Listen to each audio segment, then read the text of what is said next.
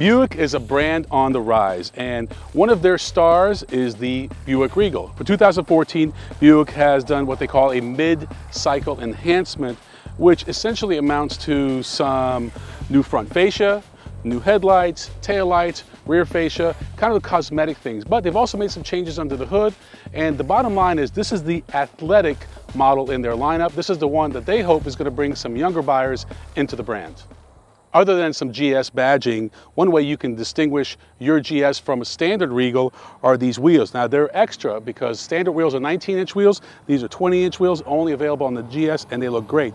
Another thing you see here are Brembo brakes, which are some of the finest brakes in the industry. They also come standard on the Regal GS.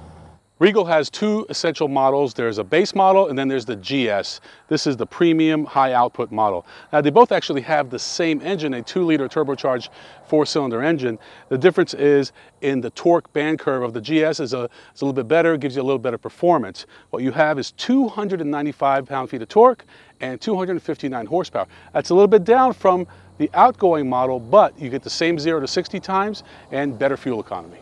In order to make the Regal GS even more performance oriented, uh, Buick added the optional all-wheel drive system. And it's a great system. It can actually go from as much as 90% power to the front to as much as 100% power to the rear. This is really going to help elevate the Regal GS into more of a world-class sports sedan.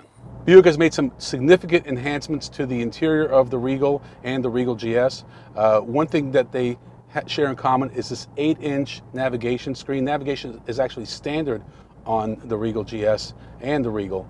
Uh, it's a great navigation screen and has some great technology with apps, uh, but more importantly, you also have an 8-inch TFT screen as your speedometer and you can customize this depending on what styling you like. But what's really important are these two buttons. There's a sport button and then there's a GS button. Now what that does, sport is kind of a mild uh, you know, performance uh, button. It, it, it basically just changes the suspension a little bit. But when you put it in the GS, you really kind of get into this track mode and it, and it even changes the steering. You feel it tighten up right away. And that's kind of what makes this more of a performance sedan. Starting price for a base front-wheel drive Regal GS is just over $37,000, around $39,000 for an all-wheel drive. Now, when you look at that price point, that puts it in some really heavy company, including the all-new Mercedes-Benz CLA.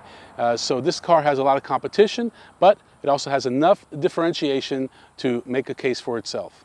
Overall, the, uh, the Regal GS is, is a lot of fun to drive. It's, uh, it's got plenty of power.